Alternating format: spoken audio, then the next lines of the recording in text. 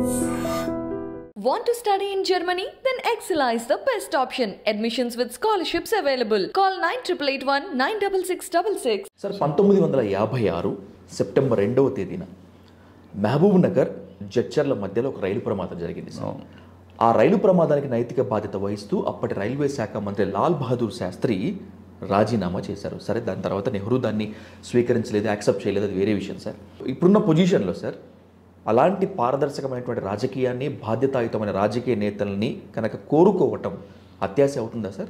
అంటే కోరుకోవటం అత్యాస అవుతుంది. ఆ తర్వాత కూడా ముగ్గురు చేశారు. ముగ్గురు మంత్రులు ముగ్గురు రైల్వే మినిస్టర్స్ రిజైన్ చేశారు. సో కోర్స్ వాళ్ళకి కూడా యాక్సెప్ట్ చేయలేదు. ఒక ప్రభు గారిది ఒకటి మాత్రం యాక్సెప్ట్ చేసి ఆయన మార్చేసినట్టున్నారు. ఆయన తీసుకెళ్దాం అనుకుని ఉంటారు ఆయన యాక్సెప్ట్ చేశారు అట్లా అఫీషియల్గా సార్. సో ఎప్పటికప్పుడు జరుగుతూనే ఉంది. కొంతమంది అంటే మాట్లాడుకొని చేసేది. ఇప్పుడు ఆయన చేసింది నిజంగా చేయనని చెప్పి వెళ్ళిపోయారు ఆయన. లాల్ బహదూర్ శాస్త్రి గారు.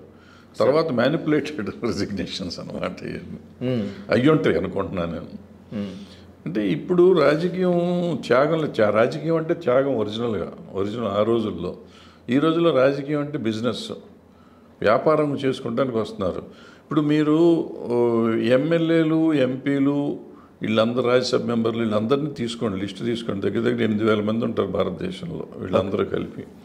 వీళ్ళల్లో సెవెంటీ పర్సెంట్ కోటీశ్వరులు. బాగా కోటీశ్వరులు మామూలు కోటీశ్వరులు కూడా కాదు.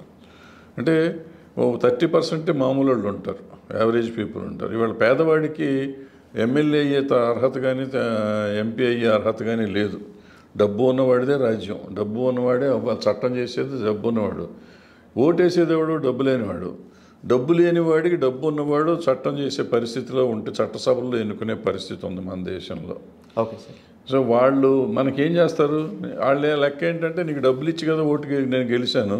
ఇంకా నీకు చేసేదండి తొక్క సరిపోయింది. ఇచ్చింది చాలే ఎలక్షన్ టైంలో అనుకునే పరిస్థితి వాళ్ళు ఉంటారు సో ఈ పద్ధతులన్నీ మారాలి మన సమాజంలో. ఇవన్నీ మారిన రోజున మంచి జరుగుతుంది.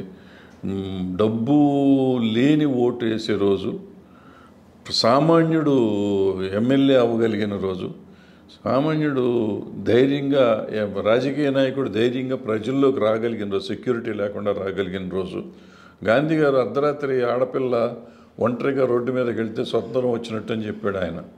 ఇవాళ రాజకీయ నాయకులు మగవాళ్ళు అయ్యుండి ఒంటరిగా రోడ్డు మీదకి వెళ్ళే ధైర్యం ఉందా?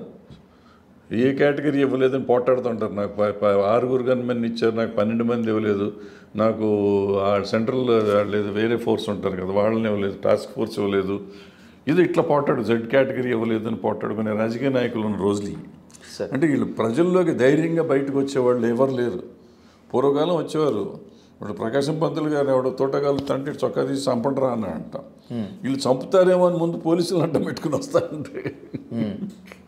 అవును సార్. అది పరిస్థితి. ఆ పరిస్థితులు మారిపోయినాయి. మనం వ్యాపారం చేసుకుంటున్నాం. వ్యాపారం అంటే ప్రజలు కూడా అదే చేస్తున్నారు. డబ్బు తీసుకుని ఓటేసినప్పుడు వ్యాపారం కాదు. వీళ్ళు వ్యాపారమే చేస్తున్నారు. అవును sir. So they should not expect anything from anybody. ఏదో కార్పొరేట్ లాగా డబ్బులు ఇచ్చి ఉద్యోగం తెచ్చుకుంటున్నాం లాగా డబ్బులు ఇచ్చి వాళ్ళు ఉద్యోగం తీసుకున్నారు. ఆ తెచ్చుకున్న ఉద్యోగం వాళ్ళు డబ్బు సంపాదించుకుంటున్నారు. సో వాళ్ళని తప్పు పడటానికి ఏం లేదు. సార్. ధర్మంగానే జరుగుతుంది. ధర్మం నాలుగు పాదాల మీద ఉన్నట్టు భారతదేశం